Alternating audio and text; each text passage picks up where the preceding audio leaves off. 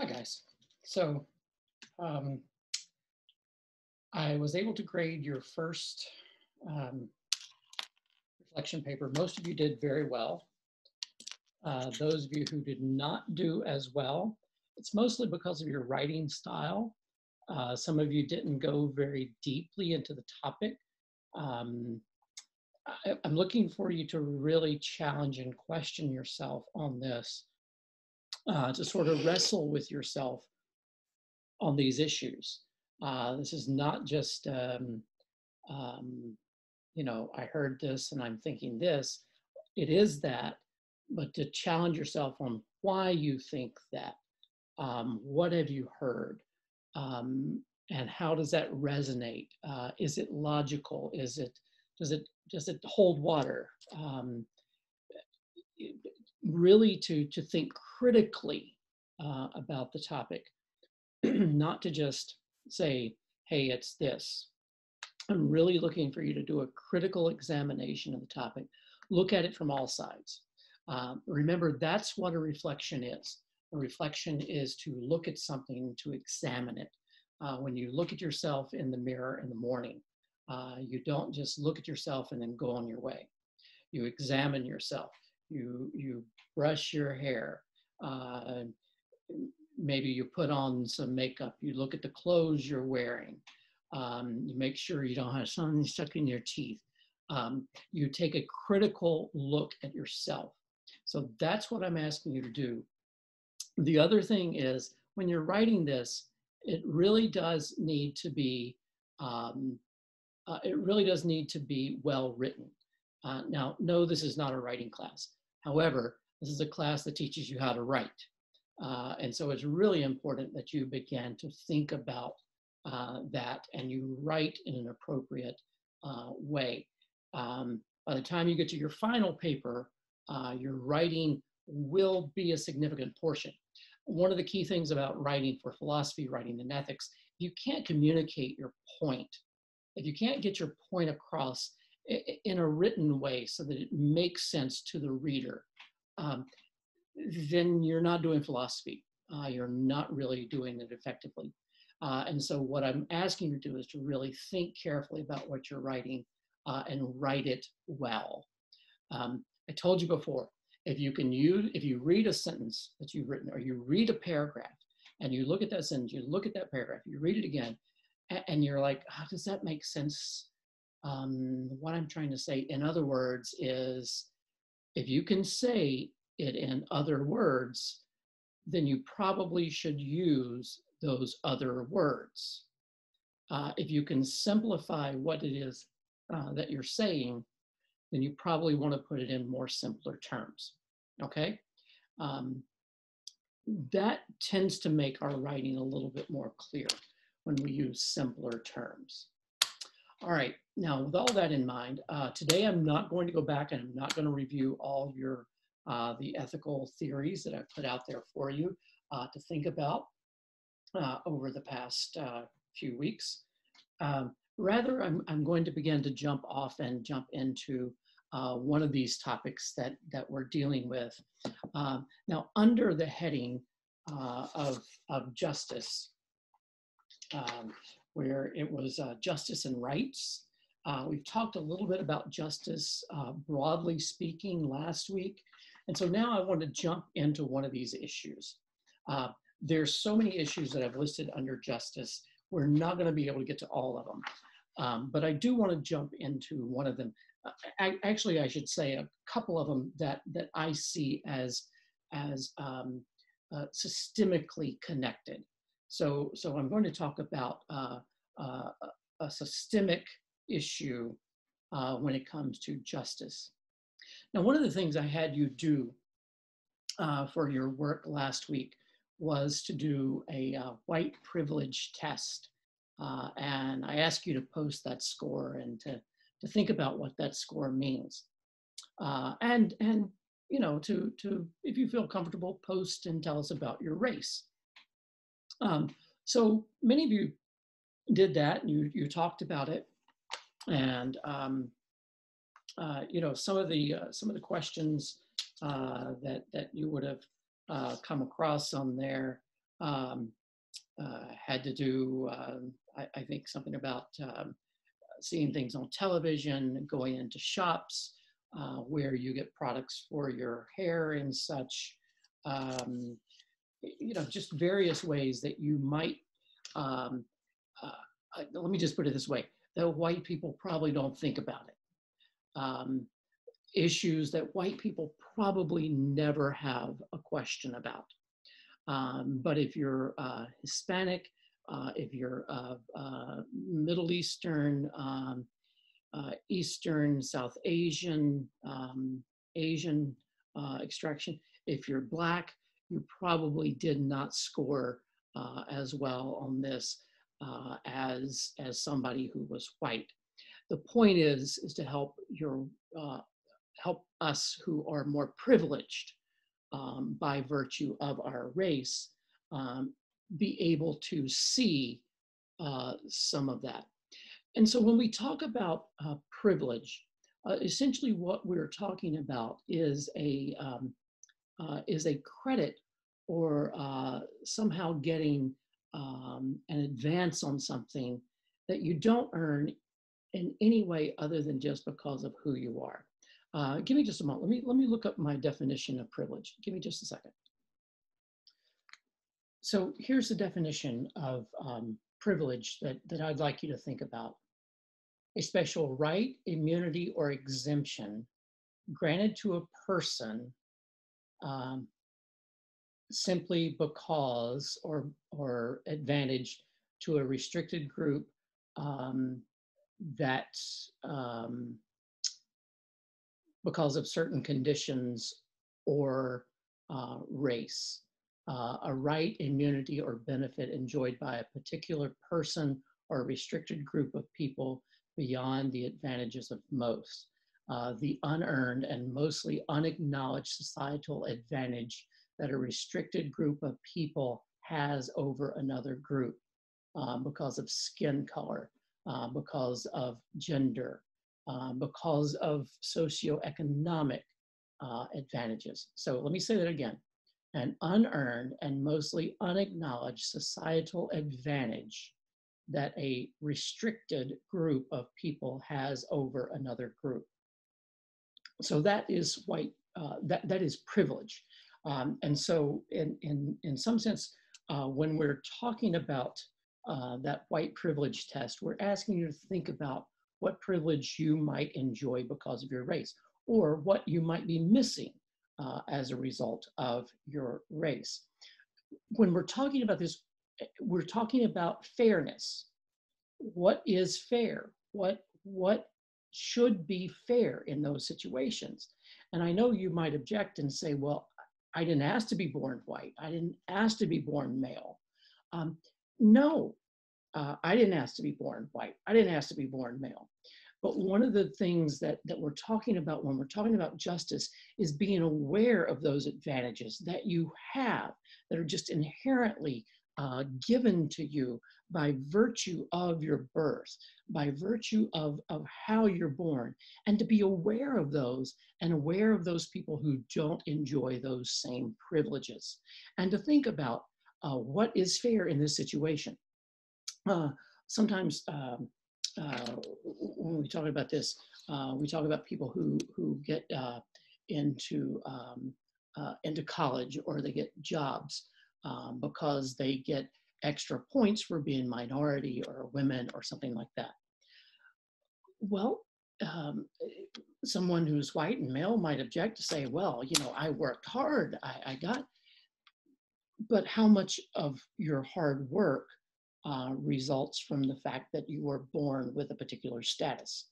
Um, uh, I, I, really could go into really go into more detail, but that is not the point of, of this of this module today. So what I would like you to see is that when we're talking about uh, issues of race, uh, there is a line of racism that seems to run through. Um, many uh, issues of justice in the United States.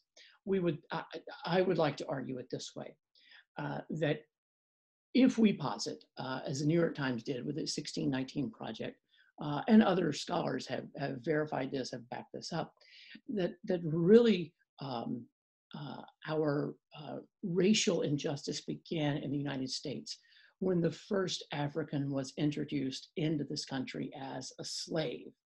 Um, we have been systemically since then disadvantaged uh, people of a particular race for no other reason than because of the color of their skin. And so everything then that is built after that, uh, in some sense and in some way, carries uh, uh, uh some element of, of, uh, of, of, taint. Um, it, it is, uh, it is, it is disfigured, it is discolored, it is, it is, it is in some way ruined as a result because then that has run through the course. And you're probably saying, well, I'm not racist. Not me. That's not me. Well, you might not feel that it's you, at least in this particular situation, but there's a system by which, especially if you're white, you have um, received advantages as a result of.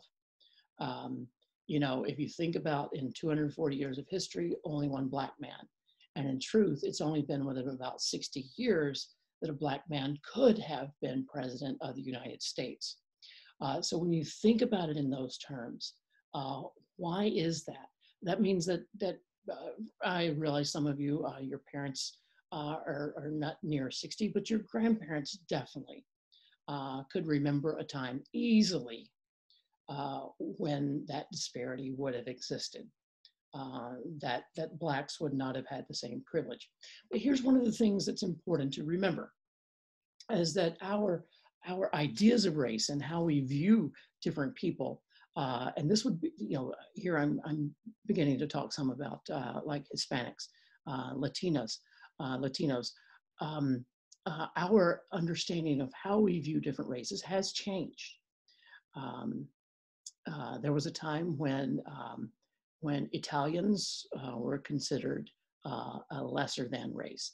Uh, there was a time when the Irish were considered um, a lesser than race. In fact, if you Googled it right now, you could find uh, historical signs that say Irish need not apply, Italians need not apply. The thing about it is, is that those groups, because of the nature of the color of their skin, have largely been incorporated into American society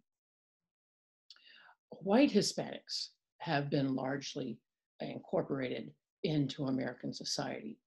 Um, uh, these are people who might have last name of Gonzalez, but they look like they're white uh, because they're more of, of European ancestry uh, than they are um, uh, Caribbean, Central American, South American ancestry. Um, so that is something to think about. Uh, and I would dare say that, that uh, Hispanics are far more widely accepted than are people who are Black. Um, now that's something that, that uh, Black students you, you can take up and you can discuss. So this through line that we're talking about then is, is racism. And it's really introduced uh, during, a time, during the time of slavery. So what is, what is racism? Uh, here's a couple of definitions. Racism is a system of domination and oppression based on physical characteristics, i.e. skin color, and or racial group affiliation rooted historically in ideologic beliefs about the innate superiority or inferiority of certain groups, whereby one racial group, i.e. whites, derives benefits and privileges from the systemic and pervasive subjugation of other racial groups, i.e. non-whites. So let me say that, say that another way. Racism is a system of domination and oppression based on physical characteristics. Uh, and then it becomes a systemic problem when uh, certain groups then continue to have advantages or disadvantages because of those physical characteristics.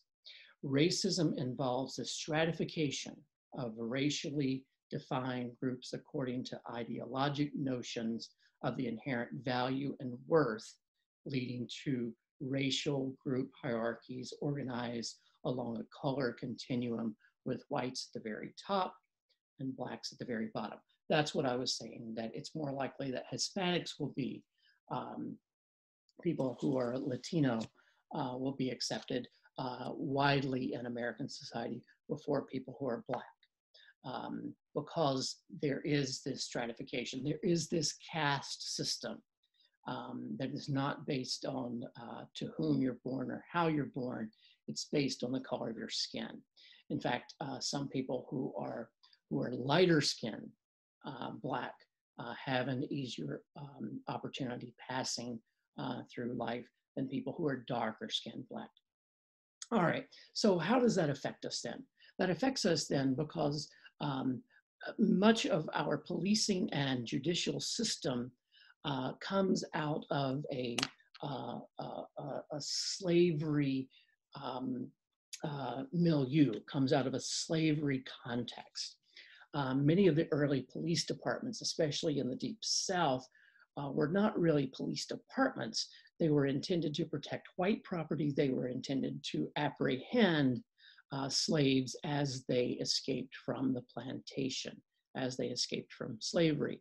Uh, and so uh, whereas a posse would eventually, you know, would be organized to uh, hunt down uh, a, a, black person who had escaped, a slave that had, had escaped.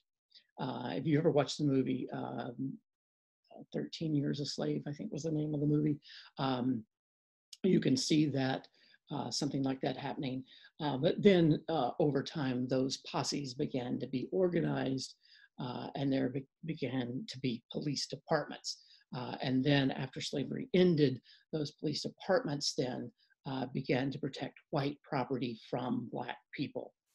Uh, and as such then, the um, much of the judicial system then has been uh, organized around that. And even though justice is supposed to be blind, we know that it's, that it's largely not. One example where we can see that that is uh, definitely the case, that there's a huge racial disparity, is when we talk about the death penalty. Now, we could talk about this in a variety of ways uh, in the judicial system, in the policing system. In fact, just today, uh, the news came down that of the police officers that uh, that entered the home of Breonna Taylor and her boyfriend while they were sleeping, uh, killed Breonna Taylor, uh, we have found, or we have heard the news today, uh, that no police officer will be charged. I'm not going to pass judgment on whether or not that's right or wrong. What I'm going to say is that uh, you, you, you better believe that a lot of Black people will feel that that is unfair. Um, because uh, in recent months, in recent years, we have had uh, more and more focus on the number of Black people who have been killed uh, by police. Uh, and, and that has been in the news more and more lately. Uh, and so this inherent sense of unfairness uh, is a reality, whether or not you believe it's true or not. It, it, the sense of, of that unfairness, the sense of that is the reality uh, then that many people, especially Black Americans, do have to live with. So as we're talking then about uh, race and, and the judicial system and the policing system. Uh, when we think about punishment, uh, the ultimate punishment is capital punishment. Where does the word capital come from? Where do you think it comes from? When you say the capital of the country, what are you talking about? Talking about the main city of a country, the place where all the rules are made? Yeah, when you talk about the capital of a person, what are you talking about? From here up, this is your capital. All right. Uh, if you if you think about a column, um, if you if you know anything about uh, architecture, uh, at the top of a column you will have a capital. Uh, that's where the column ends, and whatever the column is supporting begins. There will be a capital uh, there on top of that column. Same thing. Um, we are a column, and then at the top of, of us is our capital. So capital punishment literally comes from decapitation. Decapitation. You see where, where it is there? The capital, the decapitation, capital punishment. you're capping uh, somebody, um, not as in capping somebody, but you are capping some, someone. You are taking off their capital, uh, if you will. Uh, and so when we when we think about the death penalty, when we talk about capital punishment, in terms of of justice, what we're talking about is retribution. Retribution. Remember last week I talked about a couple of different types of of uh, of um, of justice. Uh, there's distributive justice. We'll be talking about that shortly. And then there's retributive justice. So in this sense, we're talking about retribution, retributive justice. So when we when we think about the capital punishment, it is defined as the legally sanctioned taking of another person's life, i.e., execution, for a crime, usually murder. Although we know that in the US, you can also be put to death for treason. I don't remember, it's been like 60, 70 years, I think, since we put anyone uh, to death for treason. Probably the Rosenbergs, maybe in the 40s, 50s was the last time that happened. Um, Julius and Ethel Rosenberg, maybe. I don't know, somebody can look that up and you can let me know. Um, but capital punishment is a legally sanctioned taking of another person's life, i.e., execution, to execute them for a crime, usually murder. So then we ask the question so, is there a way to humanely do this? Uh, we've, we've, we've gone from um, burning at the stake um, uh, in the Salem witch trials. There weren't that many of those, by the way, uh, and that did not last that long. Um, I, I, wish we had time to go into that, but there's really not a whole history of that. We've gone from hanging, from burning at the stake to hanging. Um, we've had firing squads, um, and we've tried to more and more make it humane uh, such that uh, when electricity was harnessed uh, in a way we, we thought, okay, to electrocute, electrocute someone uh, would be a much uh, more humane way to execute them. Um, then we developed the gas chamber. We thought that was a more humane way uh, to execute someone. nowadays, many states have come to the point of doing lethal injection and we think that that is the more humane way to kill someone. The question is, is there a humane way to take someone's life? Um, so I'll leave that for you to you to ponder and you to uh, you to think about. Um, but then I also would ask you uh, if you are for uh, capital punishment, is there a role for forgiveness and redemption? Uh, is there ever a role for that? Uh, and what if the victims, the family of the victim, whoever was was was killed by someone, supposing it, it is a murder, what if the family does not want and what if they want to forgive uh, and they don't want the life of the murderer taken? Um, just some things to think about. Well, in, in the US, um, capital punishment became unconstitutional for four years, uh, between the years of 1972 and 1976 uh, it was fine. It was uh, determined that it was cruel and unusual. Uh, and so it was for a short period of time, uh, it was um, it was unconstitutional. Uh, the Supreme Court eventually reversed that. Uh, and so um, capital punishment was reinstated in many states in the US. Now, not all states do practice capital punishment. The federal government, however, does. In fact, just this summer, uh, under the Attorney General um, William Barr, Bill Barr, um, we did have uh, one or two federal executions, and that was the first time uh, in about a decade or more that we've had a federal execution. Uh, federal executions are relatively rare. Uh, state executions are much more frequent, especially you look down somewhere like Texas, they happen pretty frequently, especially across the, um, the, the southern states, you'll see lots of those. And then you might want to raise the question of what are the benefits between capital punishment and life in prison? Cap capital punishment versus life in prison. Um, so that's something just to think about. But let me let me give you some some a couple of other terms um, that I would want you to uh, to keep in mind. So uh, one of those terms is abolitionist. So an abolitionist. Now, uh, think about abolition of slavery. What did they want to do? They wanted to abolish slavery. Well, a capital punishment uh, abolitionist wants to abolish capital punishment. And there are a variety of reasons uh, why someone would want to abolish capital punishment. We'll talk about some of those uh, in just a moment. Um, but if you want to end capital punishment, you are considered an abolitionist. If you want to continue uh, capital punishment, you are called a retentionist. Uh, you want to retain the death penalty. Um, now, I've also already mentioned the term retribution, which is basically uh, you are you are punishing someone.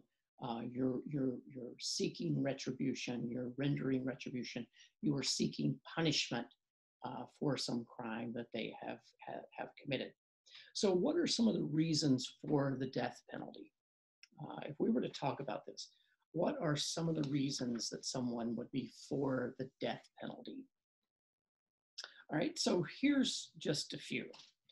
Um, some would approach this from a divine command um, point of view. Remember, we've talked about divine command. And in divine command, um, they would argue that it is an eye for an eye. An eye for an eye. They would say that their Holy Scripture, whether it be uh, the, the Hebrew Old Testament, uh, the um, uh, the Christian New Testament, the Quran, or some of the some other sacred text might also, uh, excuse me, and uh, uh, speak in favor of that. But in some way, they feel that God or the gods have commanded that they punish someone uh, and it's often called eye for an eye. But, but in, in essence, what we're talking about is one of those um, categories of, of ethics that I mentioned to you uh, over the last few weeks, which we would call divine command. God has somehow commanded uh, that those who uh, take a life or somehow do commit certain crimes be punished with their life being taken. Interestingly enough, uh, there are a variety of crimes uh, through scripture that were punishable by death uh, if a child was considered rebellious, uh, the child could be put to death. Um, yeah, I guess some of us are glad that that's not the case anymore, right? Um, if um, uh, if if a man would not marry his deceased brother's wife, he could be put to death. Uh, if a woman was not virgin uh, when she was married, she could be uh, she could be put to death. There's so many reasons. Uh, if you were perceived as blaspheming God, uh, you could be put to death. Um, if you committed adultery, you could be put to death. Uh, there were so many reasons why someone could be put to death. Um, so here I'm I'm taking it a little bit outside of the realm. There's some inconsistency with those who argue divine command um, because they would not have a child punished by death just because that child is rebellious. At least I don't think. So, another reason that someone might argue for the death penalty is it's a deterrent. Uh, the death penalty basically functions as a deterrent uh, to taking another person's life. Well, there might be situations where, where that is the case um, that you're afraid you're going to get caught, and so therefore uh, you don't um, you don't take someone's life. Uh, I would bet, however, um, most people when they are murdering someone, uh, they really don't think of the deterrence factor, um, especially when you're talking about um, uh, people who maybe deal in drugs or maybe who are in uh, organized crime where, where killing might be part of what they do, uh, they live with a constant threat of death. Uh, and so deterrence then is not necessarily a good reason to have capital punishment. Um, I, I, just, I, I, am not sure. I've never killed someone, um, but I just don't think um, that if I got to the point where I wanted to kill someone, that I would stop and say, yeah, but I might get the death penalty. No, most likely if I wanted to kill someone, I, you know, I'm, I'm, I'm pretty heated and it's, I'm probably pretty determined regardless of the deterrence factor. So what else might we say then? Um, and it is then that the punishment should fit the crime. Um, so if you take a life, then your life should be taken. This is very similar uh, to an eye for an eye, but here it might be more along the lines of a natural, theo- uh, natural, um, uh, natural law, um, where that um, those who take life should have life taken, and there might be this uh, balancing of the scales in that sense without an appeal uh, to a deity in some way. Um, but there again, um, would we cut the hand off of someone who steals? Would we take the eyes of someone who accidentally blinds someone? Um, generally, we know. Uh, the answer would be no, we would not do that. Although some, of course, would argue that uh, we should um, castrate, whether physically or chemi chemically, those who might rape or who might uh, sexually abuse a child or something like that okay, that argument might be made, but generally it's not a punishment that we carry out. Generally, most punishments, we do not say, all right, what did you do and how can we make it equal, uh, an equal punishment for you? Most other crimes, uh, we punish by putting people in prison. We restrict their liberty uh, to some extent uh, as the punishment that, that, they would, that they would suffer. So if these are arguments for and sorry, I've kind of knocked a couple of those down, um, what might be the arguments against? I would think, for me personally, and, and uh, uh, the arguments against capital punishment are, are, are, are, are far more and overwhelming than the arguments in favor of capital punishment. And so some of those uh, arguments uh, against capital punishment uh, that an abolitionist might make are that um, life is sacred. All life is sacred. And this too comes from a divine command point of view. Um, and so that's why uh, in, in Roman Catholicism, for example, uh, you would find uh, those who would argue, uh, they would argue against abortion because they would consider that to be taking life. They would equally argue against the taking of life um, through capital punishment. Uh, life is sacred from conception until natural death, and therefore no, no human should do anything to contravene, to interfere with the natural course of life. Um, now, um, many evangelical Christians, however, they would be adamantly opposed to abortion. However, they would be adamantly for uh, capital punishment uh, to me, there seems to be an internal inconsistency there. Um, but uh, the argument is that life is sacred. Uh, there's a dignity to life um, that should in no way be violated. So that would be the first argument that an abolitionist uh, for capital punishment might make. Um, the second argument is it might be that the time spent on uh, death row um, is often excessive uh, and so if you're going to put someone on death row for 10, 12, 15, 20 years or more, then it would make sense to just commute that sentence to a life in prison.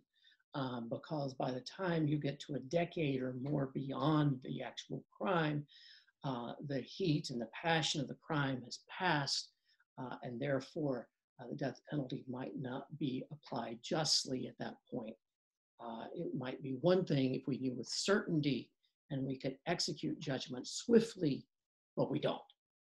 One of the reasons that we don't uh, is because that uh, in so many cases, people who are on death row have a certain number of appeals appeals to dif different various courts that they're automatically granted.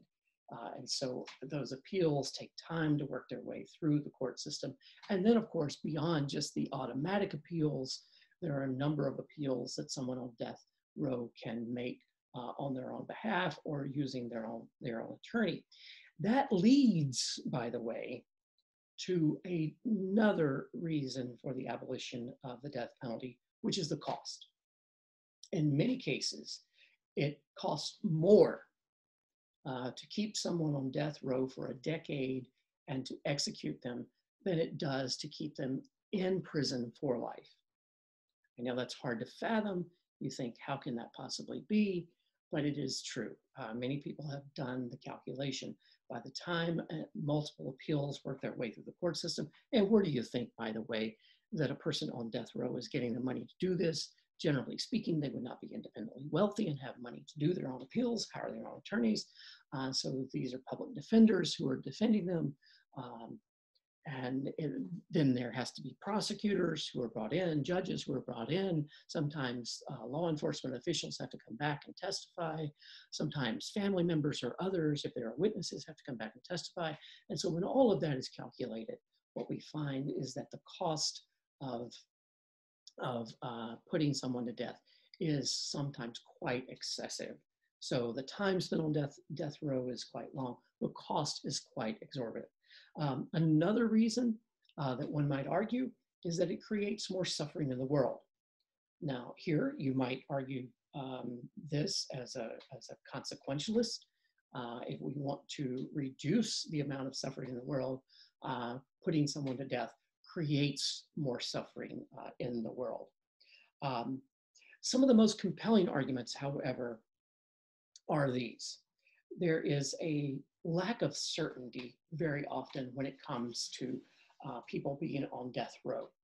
Uh, and so what I've, uh, one of the videos that i am uploading for you for this week for you to review uh, is on the Innocence Project.